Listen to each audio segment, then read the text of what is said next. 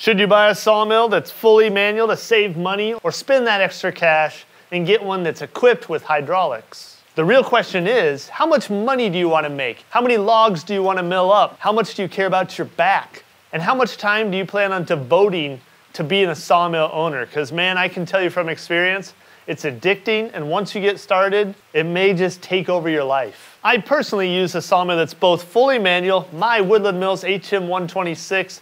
This thing cost me less than $4,000. And at my day job, I run a Wood-Mizer LT40 fully hydraulic, and these things start at $36,000. In my opinion, both of these machines are awesome, but they're very different machines designed for very different purposes and people. When I bought my Woodland Mills sawmill, I'd never run a sawmill before. I didn't have that much money, and I honestly didn't really even have any clue what it was gonna take to load a log, yet alone mill one up and figure out what to do with all the beautiful wood. This Woodland Mills HM126 can cut up to a 26 inch diameter log, and with the track extension that I bought, you can cut up to 16 and a half feet long. The LT40 by Wood-Mizer that I work with, that thing can cut up to a 36 inch diameter log and up to 21 feet long.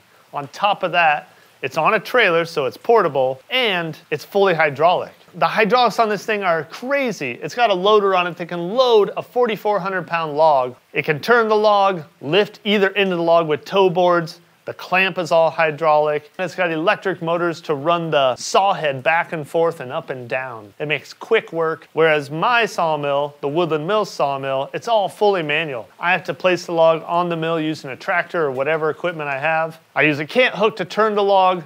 I have to manipulate everything by hand, including pushing the sawmill and cranking it up and down.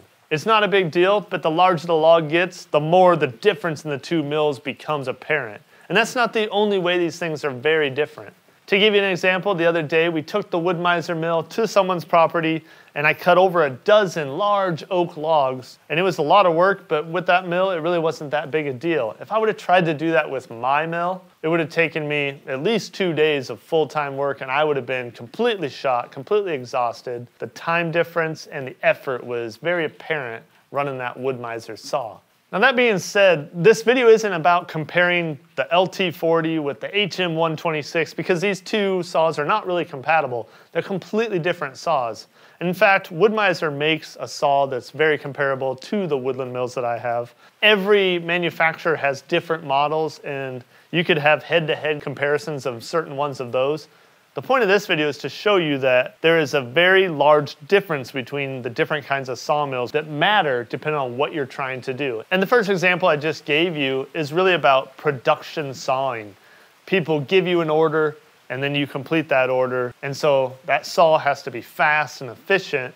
Otherwise, if you're charging per hour or board foot, one of you is losing money. I'm not saying you can't get the job done with the Woodland Mills, it definitely can, but it's gonna cut into your cost. So then why would you wanna buy the Woodland Mills if I just told you it's not a production saw? When I bought mine, I wanted to do a few things. First, I wanted to learn how to run a sawmill. I'd never done it before, so it was a brand new thing. But on top of that, we've got a 40 acre timber lot here. It was just logged. They left behind a bunch of logs that they didn't want. So I was like, man, this is all this beautiful wood that I could mill up and use for my own projects or sell the lumber or whatever. On top of that, this 40 acres, we've got all these dead ash trees. So I thought, wow, what a better way to utilize all this stuff while being outside, enjoying myself, than get a sawmill.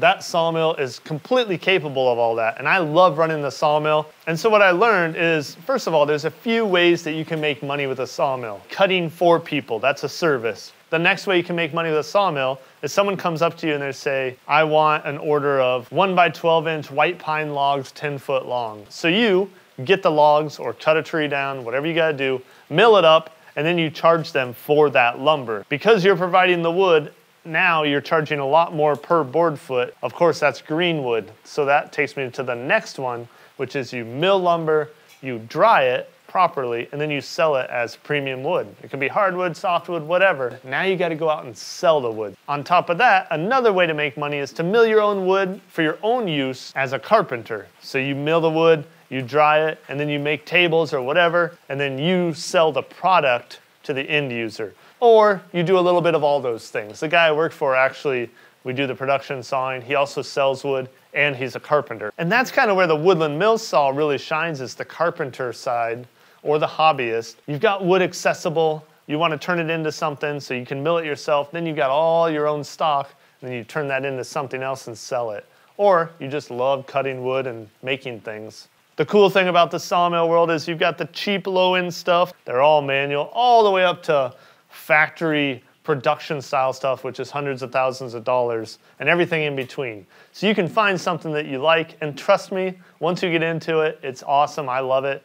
And the best thing is, these things hold their value. So if you decide you don't like it, turn around and sell it right back. So the real question is, which sawmill are you gonna get? Or which one do you already have? Let me know in the comments. Hit subscribe if you haven't already, and I'll see you in the next video.